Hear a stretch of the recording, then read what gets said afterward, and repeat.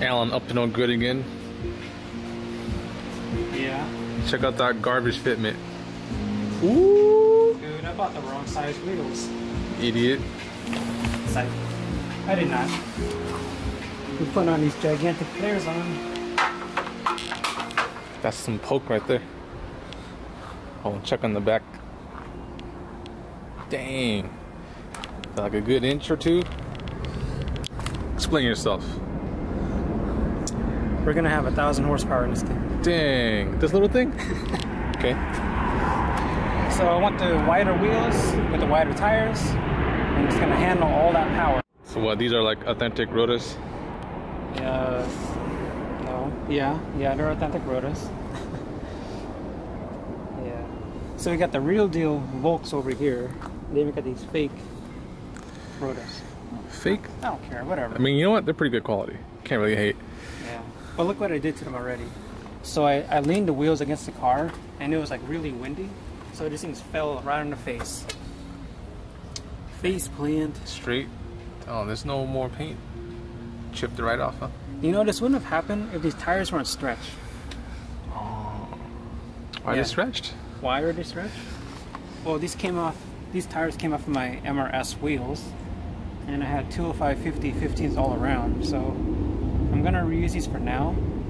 But when I burn these things out, I'm gonna switch over to 225, 45, 15. So it'll, it won't be so stretched anymore. Or maybe I should just take it from the Z. Oh, not the parts car. You can't make that a parts car. What are you doing with these wheels? So apparently they're not 4x100, right? Yeah. Which is what you need. I'm a little upset about that because um, these are on a BMW E30 four lug, and those are 4x100. So, it's, and the guy even said they were 4x100, but I, I'm gonna, I think uh, the guy had adapters on, and that's why it didn't fit. So these are 4x114, useless to me. I was gonna rebuild these to fit these flares, and those rotors are gonna be temporary too. What are doing these then? I'm gonna sell it back to the guy. Oh. Bummer. These are like my dream wheels too. Dang, what's that over there?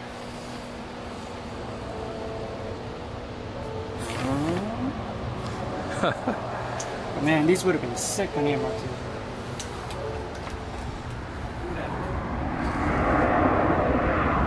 It's like. It's definitely a unique style. Okay, so before anyone asks, go ahead and tell them. Uh, these are wood sports flares. It's like the most common question you get. Everybody asks me, man, what flares are those on my old car? Let's just mock these up real quick. And look, it's perfect too because I'm going to be cutting out this rust. This dent here. So yeah, so you're actually gonna cut this. Yeah. Cool. Cutting cars. This was the perfect car to get. Perfect to cut. Oh look, and it's got this little slit here to fit over the side skirts too.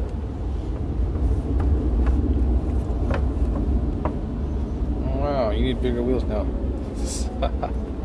No, it's pretty flush. Once I get the two 25 45s on there, it'll be a perfect fit. These are 205s. Here, look at it from the rear.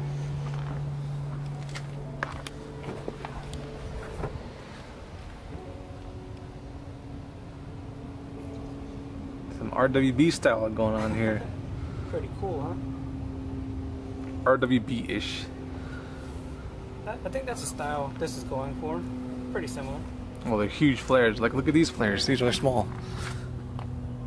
They're very modest. And these are like massive. Now let's check out the fronts.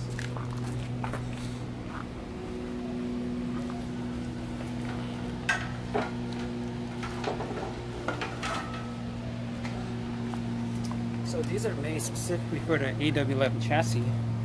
Because like, you see this thing right here? It's gonna fit over right here perfectly.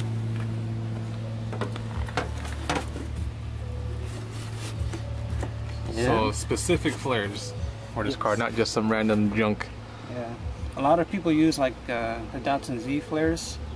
On Oh, these- they on put these on everything. Yeah, they, they use on everything. It's pretty universal. and they look just like that, but Well, they are that, they, they are that. but it's, it's for this car yeah, and not for other cars, but people still do it. yeah. And a problem with using the TUI or the Datsun Z flares is it doesn't really fit right. So it kind of like Well, the arch is like all wrong, right? yeah, it's wrong. It's like the wrong arch, and it just looks funny to me. So that's why I got these. So where do you get those?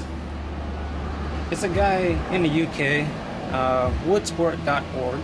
Have you made the order, or does he have them on hand? I think they're made to order, but he gets them out to you pretty fast and fast shipping too. Okay, we'll put the link down there. Yeah. Oh, and one more part. Uh oh. That would be the lip, huh?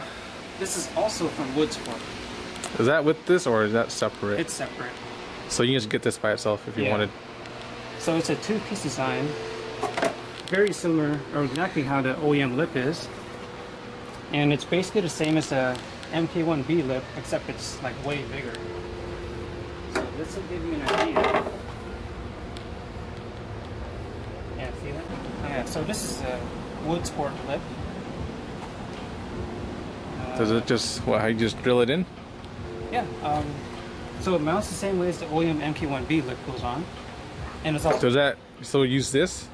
No, you, you take this thing out, Oh. and then it just replaces it like that. Oh, it's fiberglass So- though. so oh man. It's like, it should be It's- okay. It's way more aggressive, much bigger, but I think it still looks kind of OEM-ish, I guess. And don't worry about it being fiberglass, Why? because I'm gonna build a splitter. There's a splitter now? Oh boy. Things are happening. Oh, Or man. perhaps, I'm spilling all my plans well, we'll keep the engine a secret. for now. I do have one piece to the engine though. Transmission. Go ahead and talk about that. So that is the E153, which comes out of the MR2 Turbo, and this one is a 93. So it has the better synchros and all that, and it's also an LSD transmission. So I'll be able to handle all the power that I want. I think it, they're good to like up to four or 500 horsepower or something stock. So Dang, 500 horsepower in this thing? no, I'm not gonna push that much. That'd be a little rocket. But I'm just saying. If some of you, some of you guys know me before this whole YouTube thing, but I had a red A- AW11 with these same flares and the black wheels and a Gen 4 3 SGTE swap. And I'm going to be doing a pretty similar build to that. Except I want to do it better than the last one. So People still liked it. yeah, I think the well, a lot of people have been asking me about the car, like, man, you should build another one or whatever, and they're like wondering what happened to the car too. So, and I actually really like that car, so that's why I want to build another one. As Yeah. for the, as for the engine though, I'm not sure I'm going to be doing it yet, but I want something high powered, around 300 horsepower, should be good. What do you think? 300 horsepower, small numbers these days. Yeah, but in a 2,000 pound car, it's, Okay. like, it's gonna be like a rock. Better watch your, better watch out, huh? Yeah. Yeah, in my my last swap I did, my last AW11, I had the S54 transmission, which is uh, the non-turbo SW20 transmission, and I was always afraid to push that car. Like I thought I was gonna break transmission, break an axle or something. So,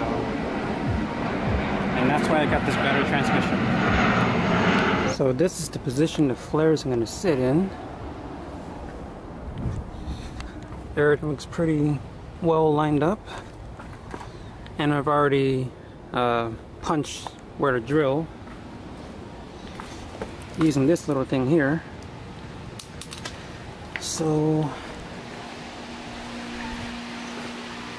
so what I'm going to be using to hold the flares in are these, and these are called riv nuts.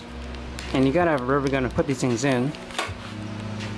So first thing we're gonna do is drill into the, the fenders, and this is a 930 seconds. And then these are M5 by 0.8 uh, riv nuts. And I've already done a little test. I drilled a hole here in this wood, and it fits in there perfectly. so let's start drilling the fenders. Here we go.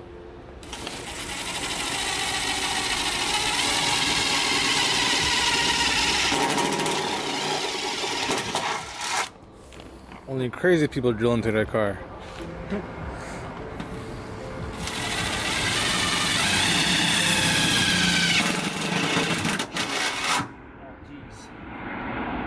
Nice. Alright, here we go. Do it.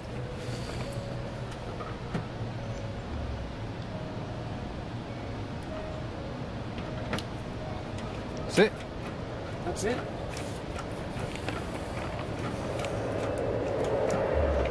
Easy. Dang. Super professional. Dang, there it is. Finally not so weak looking.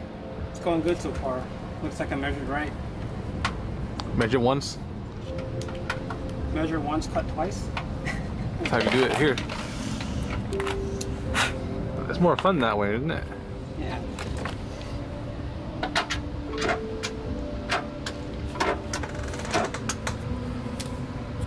You're gonna keep it white, right?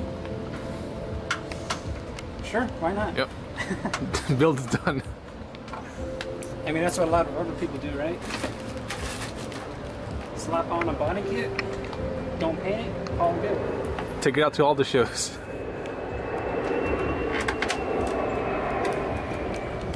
Okay, so this side is on. Nice and sturdy. And then the other side, I've got it all drilled and riveted in.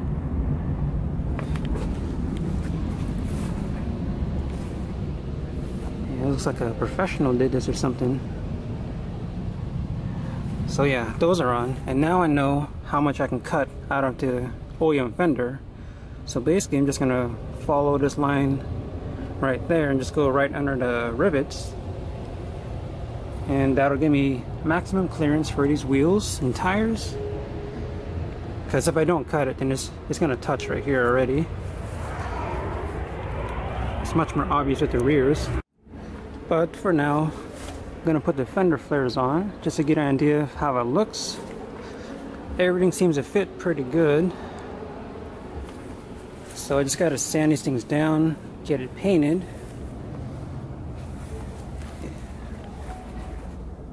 Yeah. Oh yeah, I'm gonna be taking off these mud flaps too. It just looks funny from on there.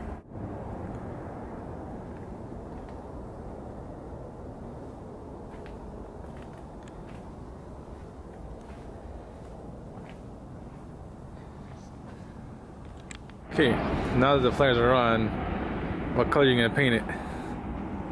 Probably just black. The whole car?